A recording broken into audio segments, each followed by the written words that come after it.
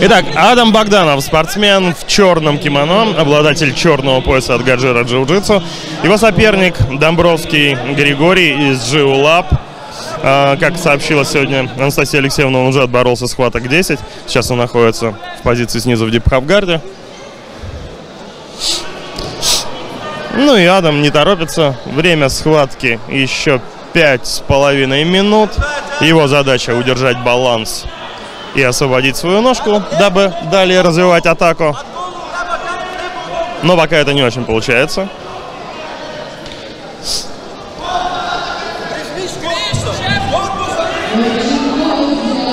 Хорошо держится Гри Григорий, спрятался в дип хавгарде.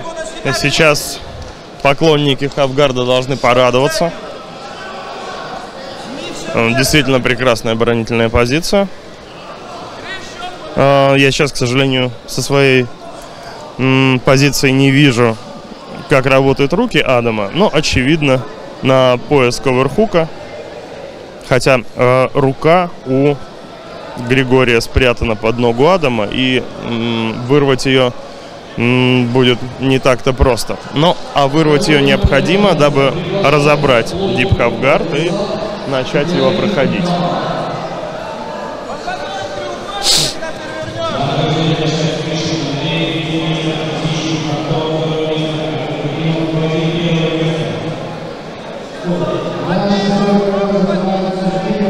Чтобы вы понимали, друзья, это 1 шестнадцатая а, абсолютной весовой категории а, в экспертах.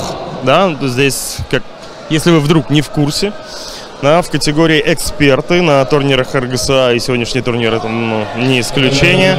Борются э, победители и призеры своих категорий, э, обладатели пурпурных, коричневых и черных поясов. Ну, собственно, синие пояса адалты, так называемые амбициозные си синие, а их сейчас много, сильных синих амбициозных, также имели право зарегистрироваться в абсолютную весовую категорию. А, на кону денежный приз, насколько я знаю. Но вот сейчас с бухты-барахты я еще не разобрался, о какой именно сумме идет речь. Тем временем 3 минуты, чуть больше 3 минут до конца схватки. Богданов Адам имеет э, на своем счету один advantage. То есть по правилам AGP, по правилам РГСА это один балл.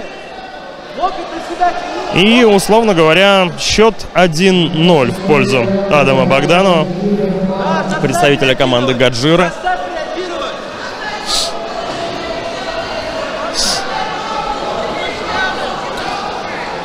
Игорь ищет свип.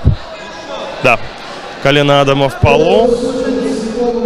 Бли близок момент прохода, но не хочет сдаваться Григорий. И не исключено, что расчет идет на то, чтобы последнюю минуту раунда сделать свип, оказаться сверху и этими двумя баллами выиграть. Но пока удерживает свой баланс Адам Богданов.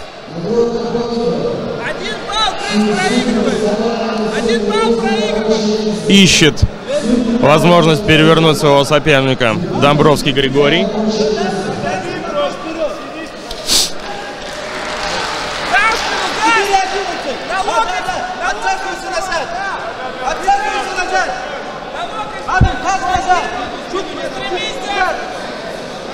И вот интересная позиция. Недавно смотрел курс Лак, Лаклана Гайлса вот по обратному такому хавгарду. Ой, сколько технических возможностей открывается для нижнего, оказывается. Ну, собственно, и для верхнего. Но, очевидно, Григорий Домбровский этого не видел. А вот пока у нас идет вторая схватка, ко мне присоединяется Степан Анискин, который, собственно, и э, будет основным голосом сегодняшней трансляции. Сейчас он разминает свои голосовые связки после того, как наорался, насекундировал со своим соперником. Ой, соперником, господи, своим э, студентом. Э, готов? Всегда готов. Ну, смотри, э, давай пока вот ничего интересного не происходит, уже 4 минуты схватки. Э, идет напряжение, но экшена никакого нет. Э, коротко, что сегодня у нас получают э, победители абсолютки, ты не помнишь? Ну, я думаю, как всегда, хорошее денежное вознаграждение, как это обычно бывает на чемпионатах Евразии. Ну, я тоже так думаю. И, по-моему, у нас сегодня и абсолютка в ги и в ноуги.